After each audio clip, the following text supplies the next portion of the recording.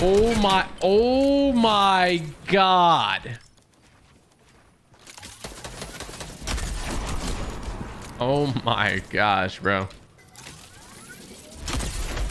Dude, I, bro, I just, did I just hit three back to back headshots with the railgun into an instant elimination with the AR?